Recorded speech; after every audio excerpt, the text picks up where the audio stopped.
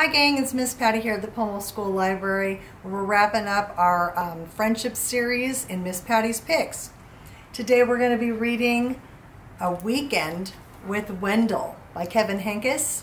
Um, this is a really great story. I loved it because, you know, they don't start out getting along very well. So for a friendship series, I figured that this is more of like a lesson you know, the best way to make friends with somebody is to find some common ground, but mostly laughing and uh, having fun and showing kindness. But this weekend with Wendell doesn't exactly start out that way. Let's hear this story. A Weekend with Wendell by Kevin Henkes.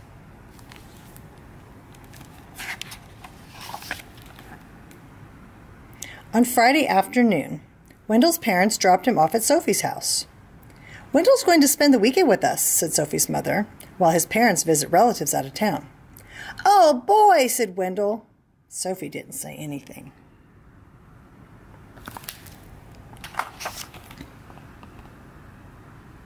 After a snack, Sophie helped Wendell carry his sleeping bag and suitcase upstairs. Well, what are we going to do now? asked Wendell. Do you have any toys? Sophie pointed to her toy chest.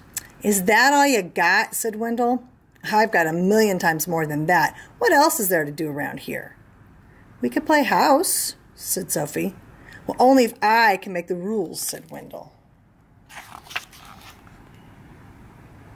So they played house, and Wendell made the rules. He was the father, the mother, and the five children. Sophie was the dog. And they played hospital. Wendell was the doctor and the nurse and the patient. Sophie was the desk clerk.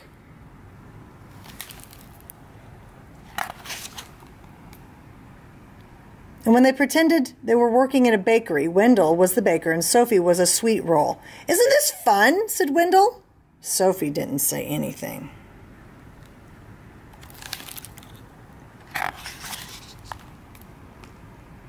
At dinner, Wendell said that he was allergic to anything green, so he didn't have to eat his vegetables. And then, when Sophie wasn't looking, he scooped the whipped cream off of her dessert.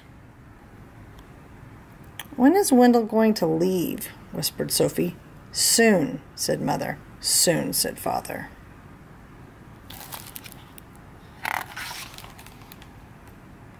After Sophie's parents tucked Sophie in bed, zipped Wendell in his sleeping bag, kissed them both, and turned off the light, Wendell gra- grabbed his flashlight and he shone it right in Sophie's eyes. See you tomorrow! He was smiling. Sophie shut her eyes. I can't wait for Wendell to go home, she said to herself.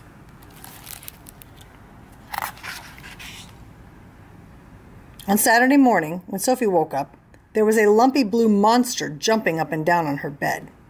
It was Wendell. She felt something pinch her leg at breakfast. It was Wendell.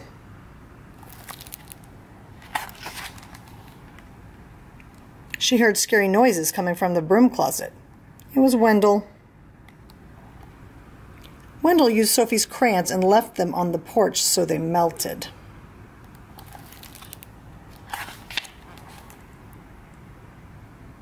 At lunch, Wendell finger painted with his peanut butter and jelly. Isn't this fun? said Wendell. Sophie didn't say anything. When is Wendell leaving? whispered Sophie. Soon, said Mother. Soon, said Father.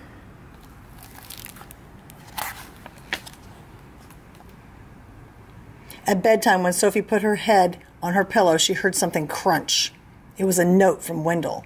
It said, See you tomorrow. Sophie shut her eyes. I can't wait for Wendell to go home, she said to herself.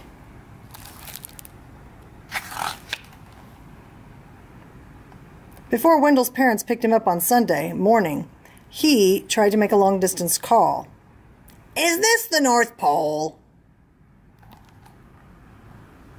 He wrote his name on the bathroom mirror with toothpaste.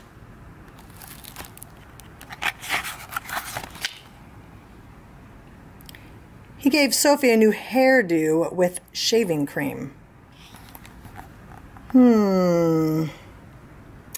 Want to go outside to help me wash this off? asked Sophie. We could play firefighter. Oh boy, said Wendell. So they played firefighter, and Sophie made the rules. She was the fire chief, Wendell was the burning building. Isn't this fun? said Sophie. Wendell didn't say anything. Do I get to be the fire chief? asked Wendell. Maybe, said Sophie. Starting to look like maybe Wendell's getting a taste of his own medicine. And here they are playing together. Wendell doesn't look too happy until. Soon, Wendell and Sophie didn't even care who was the fire chief or who was the burning building. Looks like they're starting to have fun in the sun, you guys. Time to go, said Sophie's mother. Time to go, said Sophie's father. Already? said Wendell. Already? said Sophie. And when is Wendell coming back? asked Sophie. Never, said Mother. Never, said Father.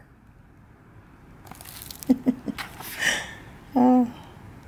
And that afternoon, when Wendell unpacked his suitcase, he heard something crunch.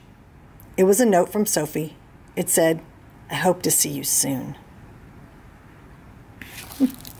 and that was a weekend with Wendell, boys and girls.